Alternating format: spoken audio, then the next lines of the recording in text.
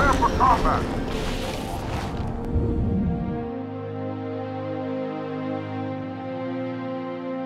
Hey everyone, Nick Brick here with a Halo build. A plasma weapon symbolic of an elite's honor, here's the LEGO Energy Sword from Halo. In Halo's lore, the Energy Sword is a Covenant weapon wielded by elite warriors and is believed to be a holy weapon. Twin plasma blades ignite from the hilt. In gameplay, the sword appears in every Halo game except for ODST, and is playable in every Halo game that it appears in except for the first.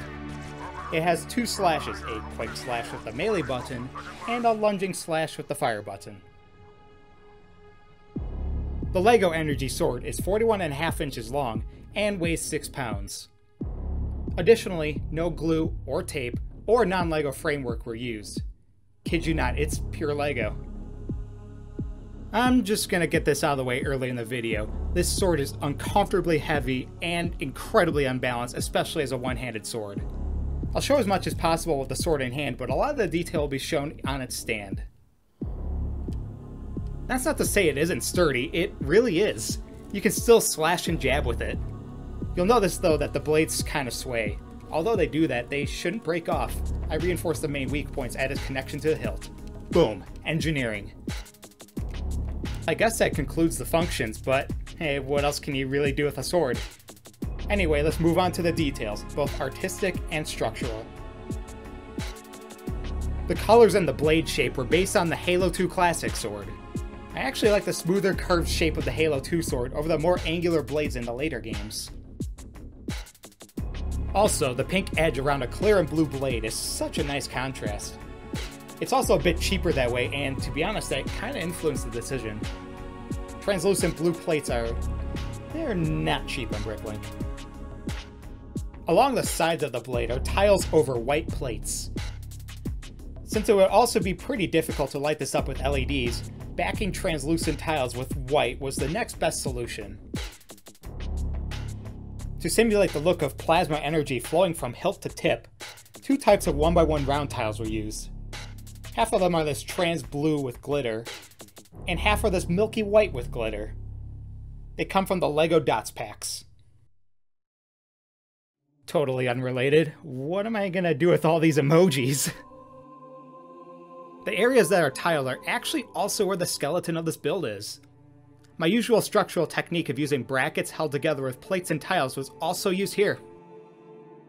The weight and length of the blades take a toll on the skeleton, which also passes through the hilt, but even though it bends and sways, it won't break easily. Speaking of the hilt, it has the most technical looking detail on the entire build. I based the detail on my LEGO hilt primarily on Halo Reach. The hilt in game has a much more curved shape to it, but I straightened it out to be able to take the brackets and plates skeleton better. And here's a banana for scale, but in addition to the LEGO banana, I have another object for comparison. It's a pretty obvious one if you follow LEGO's competitors. Mega Construx made an official model based on the Halo Infinite sword. As noted in their own product video, it's meant to be half scale. Compared to my model, which is still short of full scale itself, you can see it's absolutely blown away in size.